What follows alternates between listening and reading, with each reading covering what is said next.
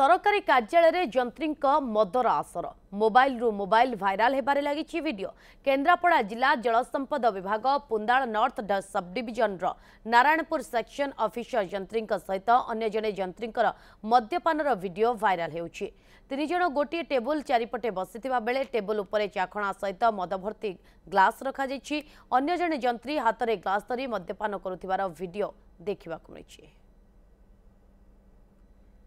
ଅଧିକ ସୂଚନା ପାଇଁ ଆମ ସହିତ ଫୋନ୍ ଲାଇନ୍ରେ ଯୋଡ଼େଇ ଯାଇଛନ୍ତି ପ୍ଲାବନ ସ୍ୱାଇଁ ପ୍ଲାବନ ଏ ଭିଡ଼ିଓ ସାମ୍ନାକୁ ଆସିବା ପରେ କ'ଣ ପ୍ରତିକ୍ରିୟା ସାମ୍ନାକୁ ଆସୁଛି ଏବଂ ଭିଡ଼ିଓର ସତ୍ୟାସତ୍ୟ ନେଇ ଯେଉଁ ଅଧିକାରୀମାନେ ଏଥିରେ ରହିଛନ୍ତି ସେମାନେ କିଛି ପ୍ରତିକ୍ରିୟା ରଖୁଛନ୍ତି କି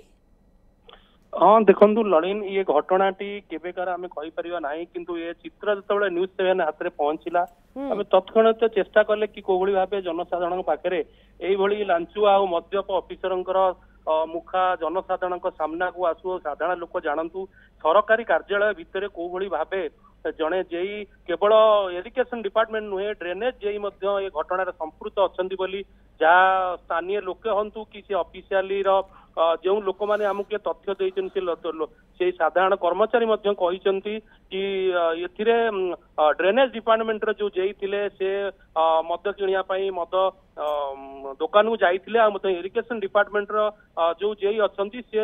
ଲଗାତାର ଭାବେ ଏ କାର୍ଯ୍ୟାଳୟ ପରିସର ଭିତରେ କେବଳ ମଦର ଆସରା ନୁହେଁ ମଦ ସହିତ ଗୋଟେ ଭୋଜି ଭାତର ମଧ୍ୟ ଆସରା ଡେଲି ଏଠି ଜମେ ଏ ଘଟଣାଟି ନିଶ୍ଚିନ୍ତ ଭାବେ ଏକ ଉଚ୍ଚସ୍ତରୀୟ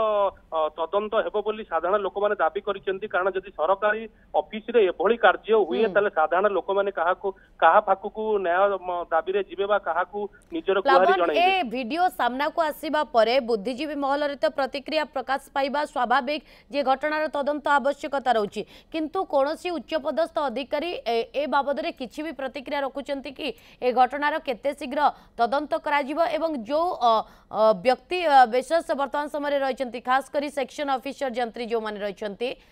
ସେମାନେ ଏ ବାବଦରେ କିଛି ପ୍ରତିକ୍ରିୟା ରଖିଛନ୍ତି କି ବା ତାଙ୍କ ସହିତ ଯୋଗାଯୋଗ ଆପଣଙ୍କର ହୋଇପାରିଛି କି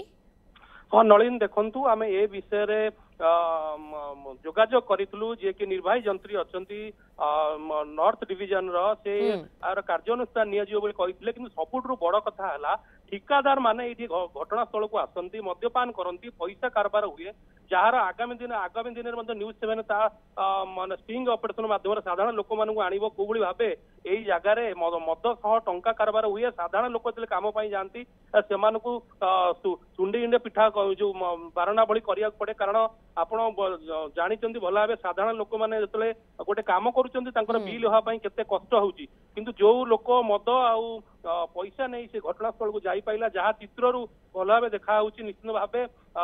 সে লোকৰ কামে শীঘ্ৰই হ'ই পৰিব আৰু সরকারি দপ্তৰে এভৰী কাৰ্য কেবেবি গ্ৰহণীয় নহৈ কিন্তু এ ভিডিঅ' সামনাক আছিব পাৰে এ ভিডিঅ'ৰ সত্য সত্য কোন ৰহ'উজি আৰু কি বুলি ভাবৰে তদন্ত কৰি উচিত কাৰ্যানুষ্ঠান গ্রহণ কৰা যাওঁচি কি নাই তাৰ ওপৰে ৰহিব নজর বহুত বহুত ধন্যবাদ প্লাবন तमाम সুচনা পাই